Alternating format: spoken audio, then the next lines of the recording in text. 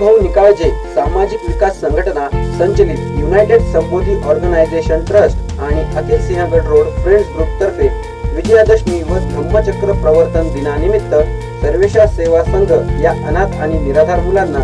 आणि आभाळ माया वृद्धाश्रमाला ट्रॅक सूट आणि ब्लँकेटचे वाटप करण्यात आले.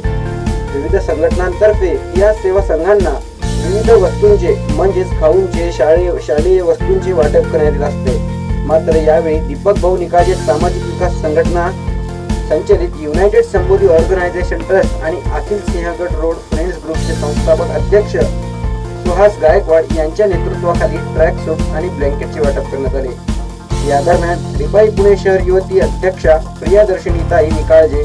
तसेच नगरसेविका नीताताई दांगड उद्योजक Yashwant Kamble Nitin Gaikwad Sachin Thorat Sugriv Dhavre P S I Smita Patil या उपस्थित होत्या